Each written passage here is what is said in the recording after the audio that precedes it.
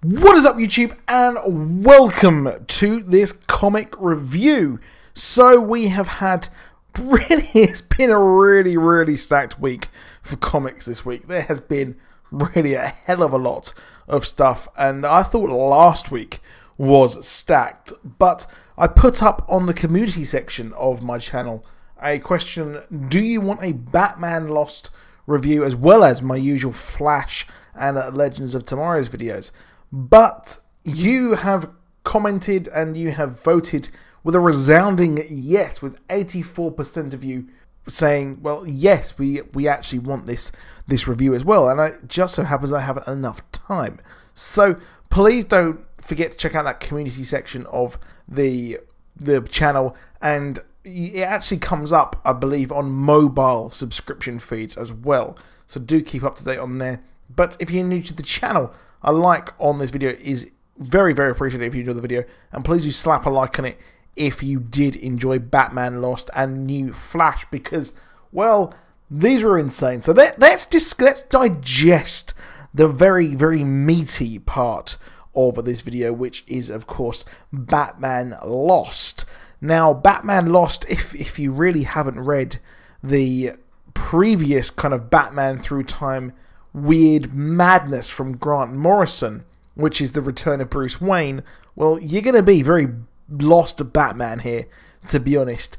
Because if you don't know, Batman Lost actually, or kind of, sorry, Batman Return of Bruce Wayne happened at the end of Final Crisis, and Batman was sent throughout time by Darkseid's Omega beams. He then was, well, he was sent through time, was kept popping up in different time periods as the Justice League tried to locate him and everything like that. So it's quite crazy that they're kind of returning here to this Grant Morrison time, which is where the Wild Hunt Dark Nights Metal is being written by Grant Morrison, so they're setting it up quite expertly here. And we saw Batman go throughout time, and he encountered different members of his family and different members of the kind of the cult of the Bat, and he met different members of that. It's fantastic. You need to go and read it if you haven't actually read it. Highly recommend going and checking out that book. But this is sort of in the same vein. So instead of going through different time periods like the witch trials of Salem, here in Batman Lost, we actually get to see different periods of history of the Batman. So we go through and we see different stories of him being the Bat. And of course, it is through the eyes of Barbatos. Barbatos is the villain of Dark Nights Metal, the person who has seemingly forged this whole thing and kind of manipulated Bruce Wayne into doing what this evil demon actually wants. And that is, well, you know, being totally evil and stuff.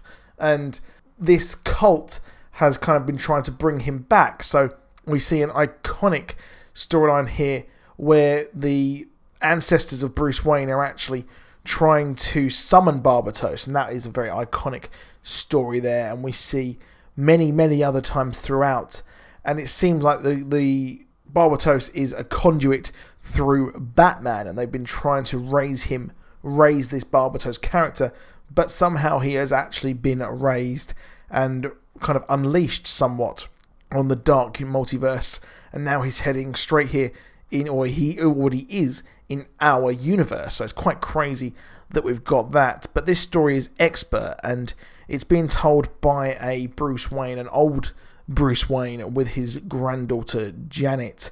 And it is similarly following in the vein that Batman, well, he is lost and he seems to be talking to Barbatos here, and all these stories are twisted.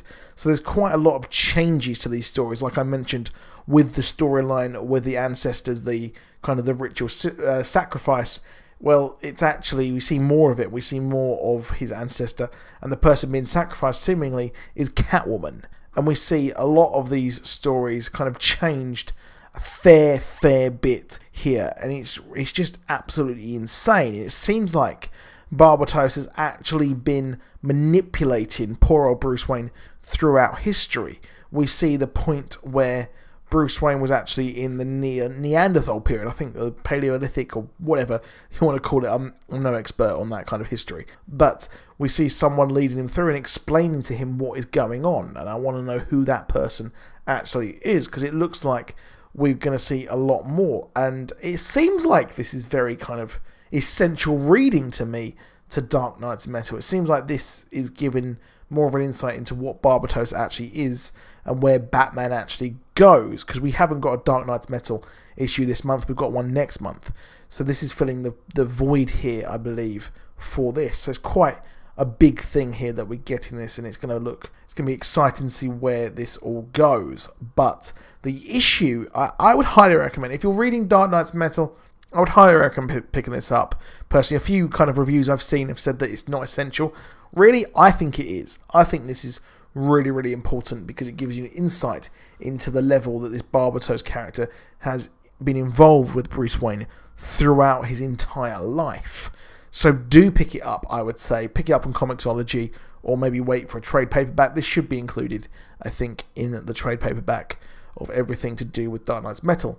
But Dark Nights Metal is continuing to be an absolute mind melt. I would put it up there with Final Crisis, but in the way that it is up there with Final Crisis, in the way that it's not easily accessible. So, Secret Empire by Marvel, that was easily accessible. Civil War 2 was easily accessible. Here, you're going to read this and you're going to not know what the hell is going on because so much Uh, is you know, you've got the Plastic Man egg, you're like, what the hell's going on with that, and, and things like that. So, this issue is really, really good. I would highly recommend going and read The Return of Bruce Wayne before reading this, just so you get to enjoy it as I have enjoyed it, where I have read that comic book. But next up, we've got the Flash, and then the new Flash. Wow, I was I, I wasn't aware that we were getting Meena Dhawan back so early. I completely forgot about this, and we see obviously Meena is back. I forgot she was back at the end of the last issue, and I was like, oh my god, this is going to be good. And if you've forgotten who Meena is, she was the one who actually helped Barry set up the Speed Force training facility over in Star Labs. And then what happened was she was killed, and he expected she was dead. However, we did see her when Iris West was investigating the black hole. When she was investigating that group, she saw Meena Dhawan, and she is an agent of Black Hole. She wanted to continue on her Speed Force kind of investigations and well, she's now on the bad side and she has got the negative speed force. So we're going to see the Flash versus the negative Flash, which I, guess that's reverse Flash. Yeah, I don't know. But it's really, really cool. This was really good story and it kind of preys on Barry's sensibilities, his kind of wanting to do the right thing, his emotions, and she knows exactly how he ticks. She knows exactly what he is and how to manipulate him, which she has done here. I would have liked maybe a bit longer um, kind of dealing with him, but we know that she is a bad girl or in the in the kind of the, on the bad team, so I guess it wouldn't have really worked if she betrayed him later on, which that would be a better story to be honest. I think that would have been more of an interesting story, but I do like what we've got here where Barry has been used. We had an optimism story of him racing, but we knew deep down that she was bad. And well, if she's got the negative speed force, I'm not sure if Barry doesn't have the speed force anymore. So does he actually have his powers? But this was a fantastic issue, and I highly, highly recommend this being picked up. To be honest, real, real fun here. A lot of, a lot of fun, and there's quite a lot for me to read. There's new Mister Miracle. There's new absolutely everything. But this issue, I just have to read. I have to read the new Flash every time it comes out. That's not the first one. I read Batman Lost first, and then I read this because you know Batman Lost. I was really excited. So this was a really, really fun issue, and the Flash has been very, very strong every issue since DC Rebirth, especially introducing an epic character like Godspeed. So, yeah, really, really good issue here. Looking forward to see where this actually goes with Meena, and hopefully we'll see more of the Black Hole organization. But that is it for this video. Please do drop a like, please do subscribe, and I'll see you soon. Goodbye.